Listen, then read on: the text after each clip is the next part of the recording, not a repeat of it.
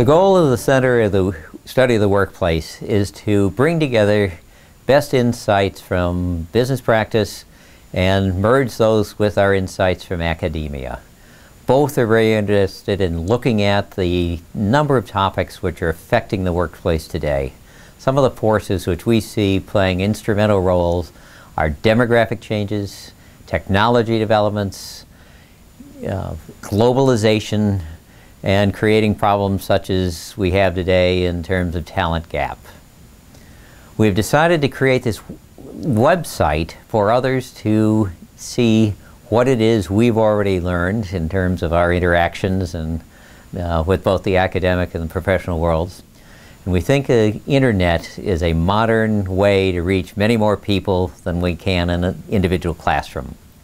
Of course, we do cover some of these topics in our classes, but you have easy access with the videos and blogs, posts, so forth, to really get the highlights of what it is we are learning. I'm really excited about this center because it's going to give us two different mechanisms.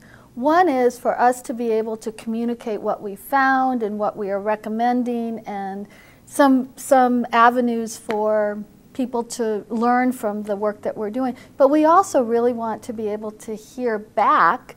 So I'm really seeing this as a, as a way to bridge that gap that academics often have of saying what's really going on in the world that we can hear and begin to add to the studies and, and communicate what we find.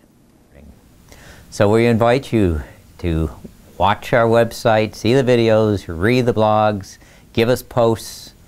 If you want to get involved in other ways, please do write us, email us and we will get back to you if you want to discuss more uh, some of the content which we have or do not have to date.